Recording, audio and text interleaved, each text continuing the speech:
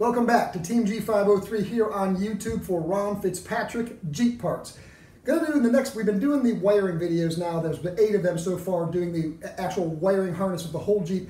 I want to jump ahead to something. I want to show you some pieces of the horn and some different things that go together, components that go together with that horn, because it seems uh, that's something that a lot of folks kind of run into some trouble with and have issues with at some point. The design and system is pretty simple, but there's little pieces that can go bad and it, happens often. So I'm going to break this up into a couple of parts. In this particular video, I'm going to show you how we connect the, we'll put the shaft on the steering column here, and then we'll connect the wire brush to that. And that'll be the simplest part of this whole thing. And I'll kind of explain how I go along here on how this system works. But I'm going to break up into three because I don't want to make one long video. I want to make a couple of short ones because each individual uh, component needs to be addressed. All right, let's have at it. Okay, I've got my steering column tube here, part number A1199, all primed and painted up with Ron Fitzpatrick Jeep Parts paints and primers, and I've got it all cleaned up in the inside as well too, and I'm going to show you here a very important component. This is your horn contact brush. It's part number A302, and make sure you get a quality one because there's a lot of reproductions out there that really just fall apart when you install them. How this works is this brush connects to this copper ring, and the horn ring on the steering worm gear is part number A747, but that makes contact with it, and this is actually part of the grounding circuit that enables your horn to work. If you notice there, I've taken some 220 grit sandpaper and I've cleaned up that ring so I can really get a good positive contact. There is a wire that's soldered onto the outside of the ring that I'm pointing to here, and it travels up through the inside of the steering worm gear to the top here where you've got your button and the spring that's installed. And when you push that button, that actually grounds this complete circuit out, and that is what enables your horn to sound. And we'll get into that more when we install the horn, but I just wanted to show you the components here.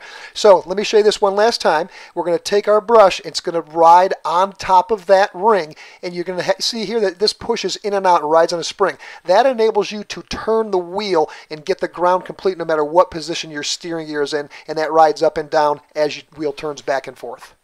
Before I install the brush here on the column, I want to show you that I've actually taken the 832 tap and I've tapped those holes so they're nice and clean. I won't have any issues with my screws going in them after I've primed and painted it. And we're going to install the horn brush with the tang, as I'm showing you here, force facing upwards where you can see that screw. And there's a longer section of that brush casing that goes towards the top. The screws are 832 by quarter inch with coinciding lock washers.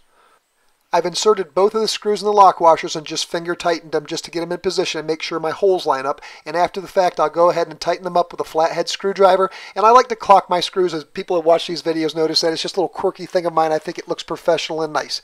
The next part we need to install is the steering column clamp. It's the lower part number A635 and it's got the bolt and the nut and the lock washer on there. And you'll want to install that over the top of the steering tube first. And don't forget to do that and ask me how I know. If you forget to put that clamp on before you put your steering tube on there, you're going to be sorry and be taking it all apart. So we'll just slip this down in between the hole here. You might have to spin it a little bit to get it to fit. And then we can go on the outside of the Jeep here and get it into position.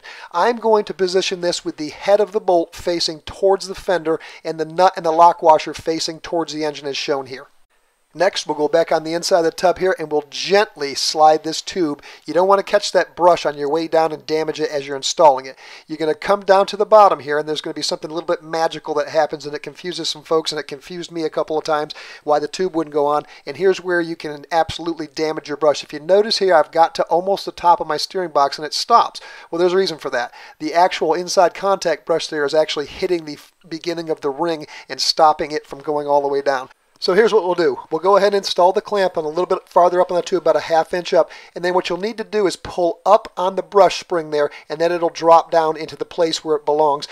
You'll have to perhaps wiggle the two back and forth and get yourself a nice fit. I'm going to line that slot up right at the top, right at the top there where your steering box is, and then I'm going to keep my column the same way just as I'm showing you here. You want it a little bit offset, but you want this brush to be not able to be contacting with anything else or touching any wires after you connect it to your horn wiring. I'll use two box end open end wrenches. They're half inch and I'll just go ahead and tighten that up. And you want to tighten that clamp so it really snugs down there on the steering tube cover there and keep that slot just a little bit slightly off to the right. Again, you don't want anything touching that horn brush or that wire. Now we'll install the black wire with the two white tracers. That was in the short left side video that we did just a short period back again, and we left it loose there if you remember from that video. We'll go ahead here and we'll move the screw and the star washer that's underneath there. And in this position, that star washer likes to dance out and jump on the floor. So see, keep your hands really nice and tight on it when you grab a hold of it and remove it. I get this out of here here and I'll show you exactly what that star washer looks like there. And that'll cut really nice into our wire and make for a good contact. To make it a little bit simpler, I'll install the screw and the star washer onto the eyelet there, the end connector of that wire, and I'll use the wire to hold that in position as I get in here with my flathead screwdriver and get this started. Now again, you want to keep your wiring nice and straight here, so hold the wire before you tighten this fully down and make sure that that's going to be straight up and down there connected to the contact on your brush.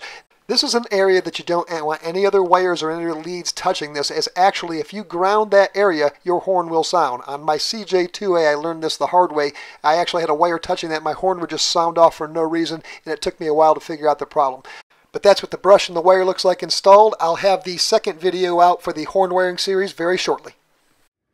Thank you for watching. If you'd like to subscribe, you can do so by hitting that subscribe button down there at the bottom. Also, smack that little bell one time with your finger, and that'll give you notifications of when we release new videos. The uh, the subscriptions to these videos is going off the charts lately, and I'm enjoying that and watching the views go. So it seems there's a lot of interest out there in these old Jeeps. So we're going to keep right on doing what we're doing. Thank you again for watching. See you next time.